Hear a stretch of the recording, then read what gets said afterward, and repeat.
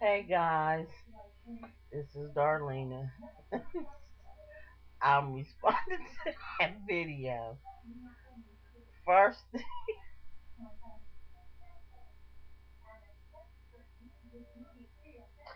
I want to just say I did not tell my children that story.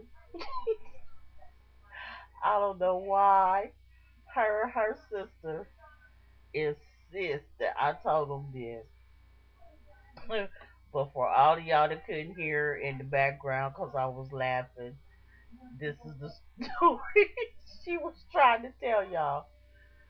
She told her co-workers they was talking about Dimple, and she told her co-workers this story that she claims that I told her when she was little. She said she asked me where Dimples came from, and I told her that when the mommy is pregnant, sometime the mommy and daddy have sex, and the daddy pokes the baby.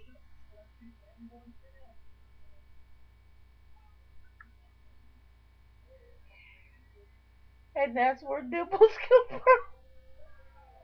And the deeper the dimples, the harder the daddy poked. now, first of all, she is 24. Why she would tell her coworkers this story? And she was mad because they was looking at her like she was crazy.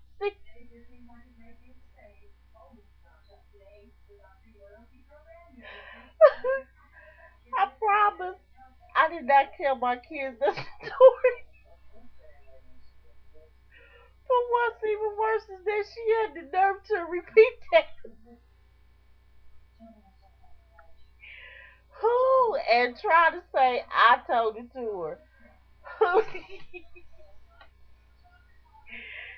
then she was mad because she wanted her pencil sharpened and I didn't have a pencil sharpener for. So I told her to go in the kitchen and get a knife and sharpen her pencil old school style. Now y'all know back in the day we ain't have pencil sharpeners at home. So you went in the kitchen, you got the knife, you sharpened up your pencil. she was looking at me like I was crazy.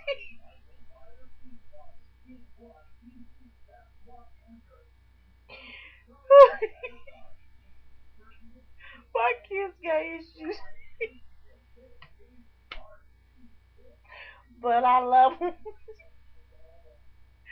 I couldn't believe she had the nerve to tell people that story about the dimples.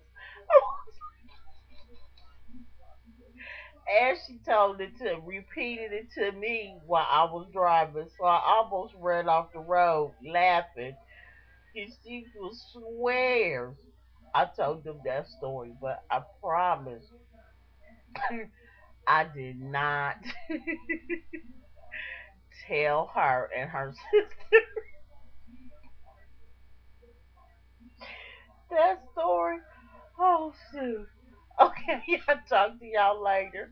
Bye.